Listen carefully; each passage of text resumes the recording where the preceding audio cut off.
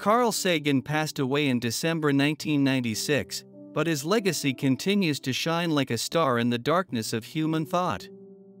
His influence extends far beyond the field of astronomy. He was one of the first to speak of our planet as a pale blue dot, fragile and solitary in the vast darkness of the universe. That image, captured by the Voyager probe from more than 6 billion kilometers away, became a symbol of humility, unity, and responsibility. Today, his message resonates more strongly than ever. Scientists, communicators, and dreamers cite him as a source of inspiration. Neil deGrasse Tyson, Ann Druyan, Brian Cox, and many others follow in his footsteps, reminding us that science is not just data and formulas, it is a way of seeing the world with wonder, with ethics, and with a deep connection to who we are. Sagan taught us that the universe is not indifferent, but immense, and that life is a rare and precious phenomenon that deserves to be cared for.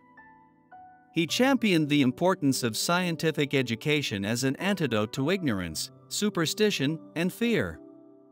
His communication style, full of metaphors, powerful images, and emotion, broke down the barriers between science and poetry, between reason and sensibility. In an era saturated with misinformation, polarization, and global challenges, his voice remains a beacon. He reminded us that we are part of the cosmos, stardust that thinks, feels, and dreams.